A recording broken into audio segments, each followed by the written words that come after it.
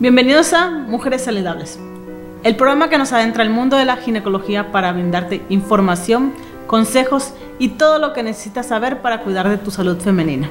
El día de hoy hablaremos de menopausia.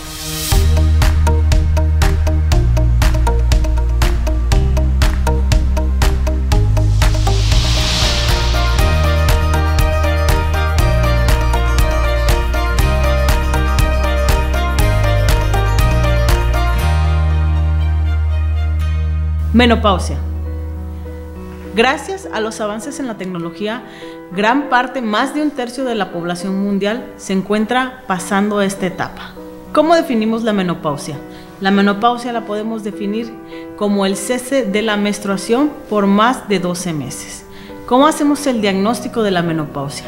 Bueno, muy bien. El diagnóstico de la menopausia es clínico y retrospectivo. Al cómo digo clínico, bueno, tenemos que dejar de menstruar y retrospectivo porque tiene que pasar 12 meses, es decir, un año sin presencia de menstruación. ¿Cuánto, ¿Cuándo aparece la, la menopausia? ¿A qué edad? Bueno, hay muchos estudios, lo ideal más o menos aproximadamente entre los 45 y 55 años, con una media de 47 años en la mujer mexicana. ¿Eso qué quiere decir? Que antes, entre los 40 y 45 años, se trata de una menopausia precoz, después de los 55 años se trata de una menopausia tardía. ¿A qué vamos con eso? Hay factores de riesgo que hacen que uno tenga una menopausia precoz. Uno de ellos son las cirugías donde hayamos tenido que quitar algún ovario o parte de nuestros ovarios hace que podamos tener más predisposición a algo que se llama menopausia precoz. Las quimioterapias o las radioterapias también son factores de riesgo para menopausia precoz. Para menopausia tardía, muy bien, las mujeres con un índice de masa corporal elevado, es decir, unas mujeres con sobrepeso, unas mujeres con multiparidad, es decir, muchos hijos, pueden tener una menopausia tardía. Muy bien, Ahora, ¿cuáles son los síntomas que se presentan en la, menopausia? Muy bien, vamos a hablar o vamos a dividirlos en síntomas tempranos, medianos y tardíos. En los síntomas tempranos encontramos que primeramente se encuentra alguna alteración en nuestros ciclos menstruales.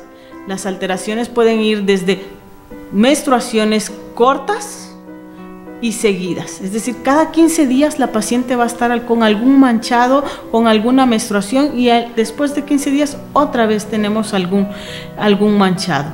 Alteraciones vasomotoras. ¿A qué me refiero con esto? Bueno, es un calor, lo menciona la paciente como un calor que empieza a partir del tronco, de los brazos, de forma ascendente y posteriormente se generaliza a todo el cuerpo. Alteraciones en los cambios del estado de ánimo, una paciente que generalmente puede estar como somnolienta todo el tiempo sin ganas, dolor de cabeza, eh, ganas de llorar, disminución del líbido, ah, es decir, ya no me apetece tener vida sexual con mi pareja, no, no es que no lo quiera, sino que ya no se le apetece a la mujer.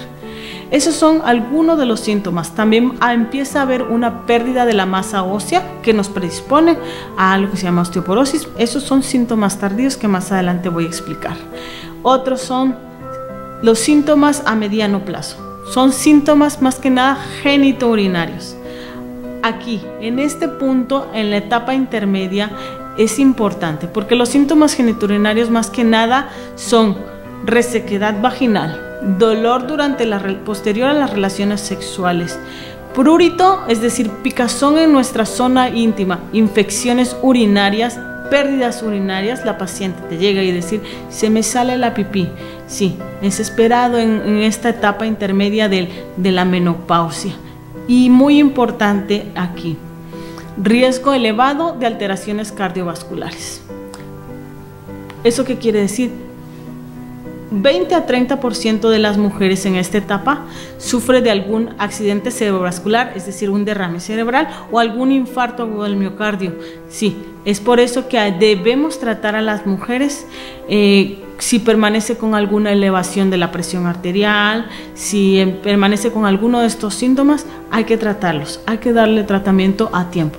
Y los síntomas tardíos, bueno, más que nada son síntomas de pérdidas de la masa ósea, de la masa ósea que nos llevan a algo que se llama osteoporosis.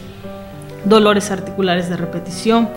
Aquí como personal de salud, como ginecólogos que somos, es importante tomar medidas preventivas también para el tamizaje de ciertos cánceres en las mujeres menopáusicas, como son el cáncer de mama, el cáncer cervicuterino, podemos hacer mastografías, papanicolaos, colposcopías y también estudios de laboratorios para ver nuestro riesgo cardiovascular.